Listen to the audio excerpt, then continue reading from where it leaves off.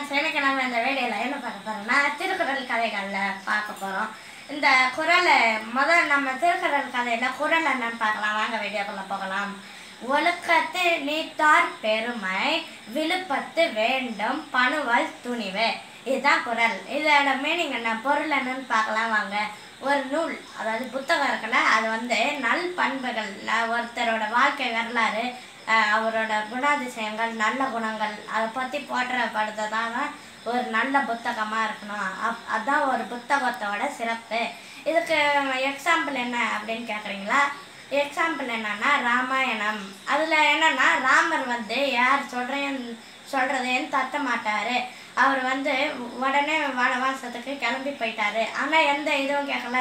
நான் ஏன் வனவாசத்துக்கு போகணும் அப்படின்னு எதுவுமே கேட்கல. அவர் அடுத்த செகண்டே வனவாசத்துக்கு கிளம்பி போயிட்டாரு. அவர் லக்ஷ்மணன் சீத்தை எல்லாருமே. இந்த மாதிரி அவங்க ராமர் எப்பயுமே நல்வழியில தான் நடந்திருக்காரு.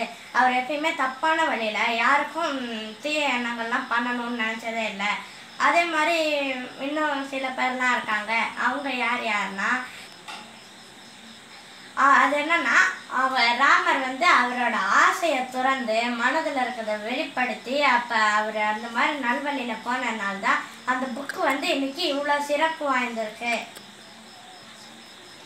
இந்த புக்கு இன்னைக்கு சிறப்பு வாய்ந்ததுக்கு காரணம் என்னன்னா அவர் ஆசையை துற ஒருத்தர் வந்து ஆசையை துறந்து நல்வழியில் செல்லணும். அதான் இந்த இதோட பொருள். ஓகே ஃப்ரெண்ட்ஸ் இப்போ நெக்ஸ்ட் யாருன்னு பார்த்தோம்னா கௌதம புத்தர். உங்கள் எல்லாருக்கும் தெரிஞ்சிருக்கும்னு நினைக்கிறேன்.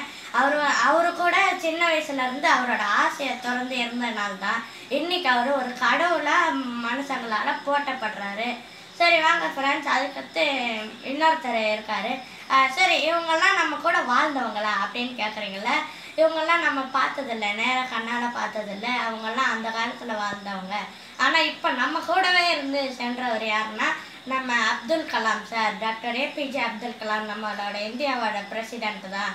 இவர் தான் நம்ம கூடயே இருந்து ந- ந- நம்மளுக்கு இந்தியாவுக்கு எவ்வளோ பண்ணி பண்ணியிருக்காரு. அவரோட கனவு என்னதுன்னா நம்ம இந்தியா வல்லரசு அடையணும் நம்ம இந்தியா சிறப்பு வாய்ந்ததாக ஆகணும் அப்படிங்கிறதுனா அந்த அவரோட கனவை நம்ம இப்போ எல்லாரும் சேர்ந்து அவரோட வ- இந்த இந்தியாவை வல்லரசாக்குவோம். நம்ம அவரோட கனவை நினைவாக்குவோம்.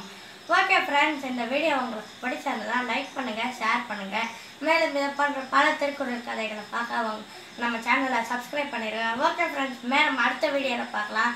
Um, tata bye bye சேயோ